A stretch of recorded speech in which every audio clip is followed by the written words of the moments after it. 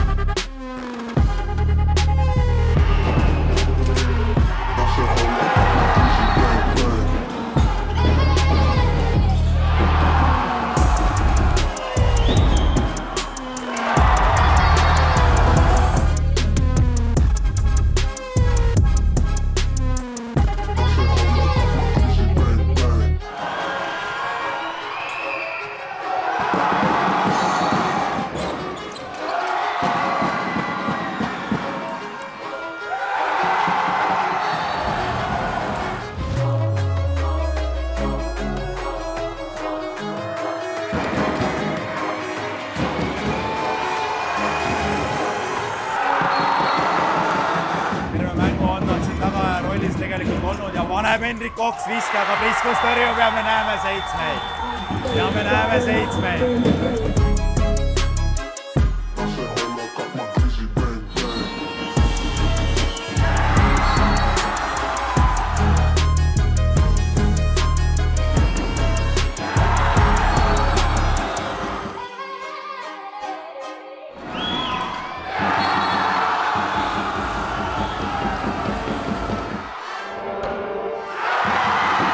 Küsima, seitsme meetri viset minna viskama sellisel hetkel, mis su peast läbi käis?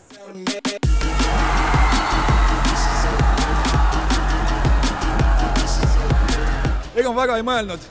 Jüri küsis, kas ma tahan visata, ütlesin jaa, läksin, panin ära, korras.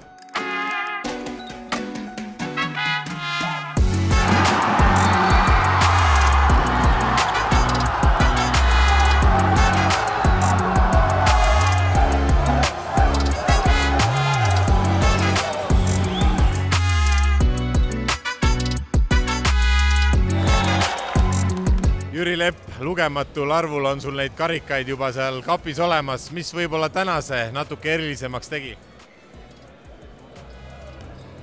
kui siin äh, mõned aastad tagasi äh, äh, Priit Tamm pakkus, et, et teeme Mistra võistkonna ja kui ma sain aru, et, et Eestis ikkagi pallimänguvõistkondadel on väga raske sellist finantseerimist saada ja ma nagu kogu aeg olen nagu selle nimel nagu tööd teinud need aastad, et me mingi, midagi nagu kätte saaksime ja mul on ääretult hea meel just selles, et me midagi suutsime Priidule nagu tagasi ka anda.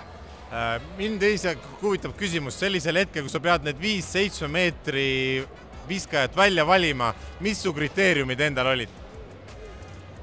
Eks nad on nat-, natukene ikka sellised, et, et kes on mingil ajal neid visanud, kes on ka noorteklassis olnud liider, et võib-olla nad on sellist vastutust äh, nagu rohkem võtnud ja, ja neil on võib-olla natukene lihtsam, et, äh, et õnneks seekord läks see täkke, see see viis meest. selge, Jüri, palju õnne sulle järjekordse karika puhul. aitäh